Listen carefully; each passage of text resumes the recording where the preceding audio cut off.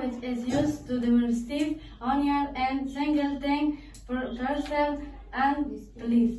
Thank you, آفرین شاباس This is a demonstrate which, uh, which, is, which is used to demonstrate an area and single thing uh, person place. Uh, example, this is a this, this is a mark and this is a chair.